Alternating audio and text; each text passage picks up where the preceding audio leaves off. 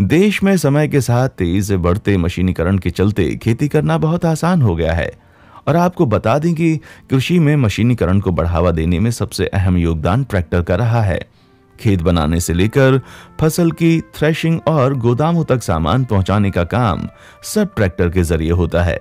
आपको बता दूँ कि ट्रैक्टर शब्द लैटिन भाषा से लिया गया है, जिसका अर्थ है खींचना, या यूँ कहें कि इसे हल को या किसी सामान को खींचने वाली गाड़ी भी कहा जाता है।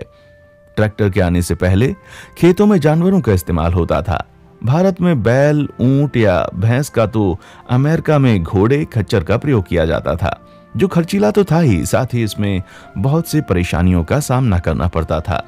लेकिन जब से ट्रैक्टर का आविष्कार हुआ, तब से कृषि कार्यों में इससे बहुत ज़्यादा मदद मिलने लगी। लेकिन दोस्तों, क्या आप जानते हैं कि दुनिया में सबसे पहले ट्रैक्टर कब और कहाँ बना था?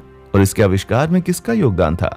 अगर नहीं तो बने रहिए हमारे साथ आखिर तक इस वीडियो में, ट्रैक्टर के आविष्कार और इसके इतिहास के बारे में विस्तार से जानने के लिए। जो लोग तकनीक के इतिहास को जानने समझने का प्रयास करते हैं, वे जानते होंगे कि तकनीक का विकास अचानक नहीं होता, बल्कि एक स्टेज से दूसरे स्टेज की तरफ़ विकास की प्रक्रिया निरंतर चलती रहती है।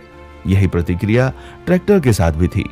आपको बता दें कि सबसे पहले शक्ति चलित यानी खुद से गति पैदा करके चलने वाला कृषि उपकरण 19वीं शताब्दी के आरंभ में बना।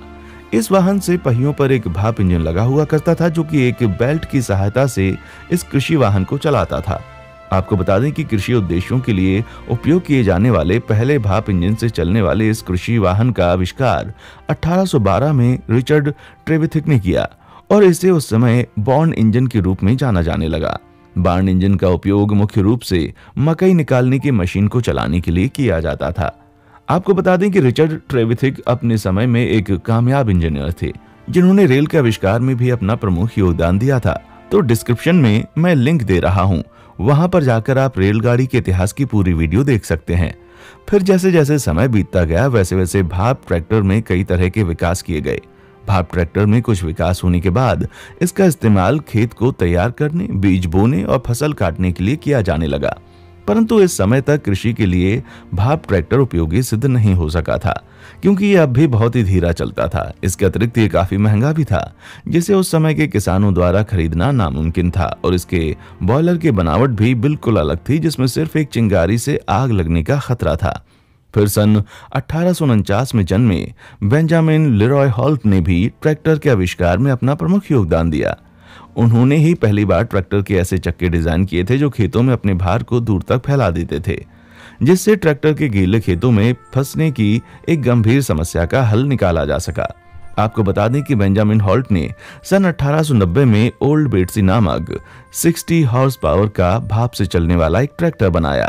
फिर सन अठारह सौ बानवे में जॉन फॉलिच नामक एक अमेरिकी इंजीनियर ने ट्रैक्टर की एक नई डिज़ाइन तैयार की। उन्होंने भाप के इंजन के रनिंग गियर पर एक सिलेंडर ईंधन वाले इंजन को लगाकर एक अल्प विकसित ट्रैक्टर बनाया, जिसे सुरक्षित रूप से लगभग तीन मील प्रति घंटे की रफ्तार से चलाया जा सकता था। इस प्रकार फोलिच ने इसके डिज़ाइन को और भी बेहतर बनाया और पहला गैसोलीन यानी पेट्रोल से चलने वाला ट्रैक्टर का आविष्कार किया। इनके इस आविष्कार के बाद कई लोग अलग अलग तरह से गैस ट्रैक्टर के निर्माण की कोशिश करने लगे। फिर इन्हीं मशीनों में तकनीकी सुधार और विकास के परिणाम स्वरूप सन 1903 में दो अमेरिकी बिजनेसमैन चार्ल्स डब्ल्यू हार्ट और चार्ल्स एच पार ने दो सिलेंडर वाले ईंधन से चलने वाले इंजन का उपयोग करते हुए सफलतापूर्वक ट्रैक्टर बनाया। आपको बता दें कि भाप इंजन के आविष्कार के बाद कई प्रकार के वाहनों को बनाने में सिर्फ़ कुछ ही लोग हाथ आजमा रहे थे। लेकिन समय के साथ पेट्रोल और डीजल इंजन के आविष्कार के बाद बहुत से इंजीनियर और अमीर व्यापारी अलग अलग तरह के वाहनों को बनाने में जुट गए थे ताकि उससे अच्छा मुनाफा कमाया जा सके। इसी तरह ट्रैक्टर के आविष्कार में भी और भी बहुत से लोग अलग अलग देशों में अलग अलग समय पर लगे हुए थे, जिस वजह से ट्रैक्टर में समय समय पर बहुत से बदलाव भी हुए और आज के समय में एक कामयाब और आधुनिक ट्रैक्टर बन सका। लेकिन इतिहास में ट्रैक्टर के आविष्कार में सिर्फ़ कुछ ही लोगों का नाम आता है। आपको बता दें कि ट्रैक्टर के आविष्कार के बाद इन कृषि कार्यों में जमकर प्रयोग हुआ। 1916 से 1922 के बीच सौ से अधिक कंपनियाँ कृषि उपयोग के लिए कृषि ट्रैक्टर का उत्पादन करने लगीं। आपको बता दें कि दे जॉइन डेयर ने सबसे पहले अठारह में पहला स्टील का हल बनाया और 1927 तक उनकी कंपनी ने पहले ट्रैक्टर और स्टील के हल एक साथ तैयार किए, जिसका उपयोग उत्पादकता बढ़ाने के साथ साथ खेतों को तीन पंक्तियों में जोतने के लिए किया गया। 1930 के दशक तक ट्रैक्टरों में स्टील के पहिए होते थे, लेकिन इसके बाद इसमें रबड़ के पहिए लगाए गए। इसके बाद जॉन डेयर कंपनी ने ट्रैक्टर के नए मॉडल आर को पेश किया, जिसकी शक्ति 60 हॉर्स पावर से अधिक थी, और साथ ही ये पहला डीजल ट्रैक्टर था। ट्रैक्टर का विकास 1966 तक जारी रहा और समय के साथ नई कंपनियाँ बाज़ार में और भी आधुनिकरण के साथ आती रहीं। भारत में ट्रैक्टर का इतिहास। आज़ादी के पहले और आज़ादी के कुछ दिनों बाद तक भी भारत में ट्रैक्टर केवल बड़े राजघराने और जागीरदारों तक ही सीमित था। उस समय भारत में ट्रैक्टर का निर्माण नहीं होता था। मुख्य रूप से रूस से ट्रैक्टर का हयात होता था। लेकिन भारत में हरित क्रांति के साथ कई ट्रैक्टर कंपनीज़ आई और ट्रैक्टर उद्योग बड़ी तेज़ी से बढ़ा।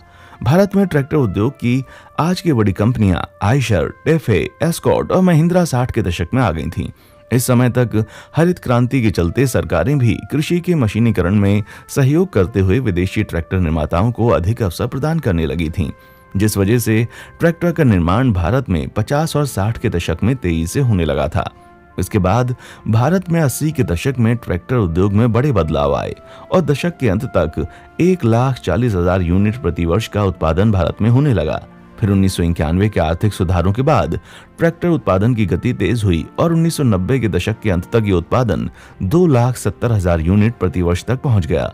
फिर 2000 के बाद नई सदी में प्रवेश करते हुए भारत ने ट्रैक्टर उत्पादन में अमेरिका को पीछे छोड़ दिया और आज के समय में भारत विश्व में सबसे ज़्यादा ट्रैक्टर बनाता है और इसका निर्यात भी करता है।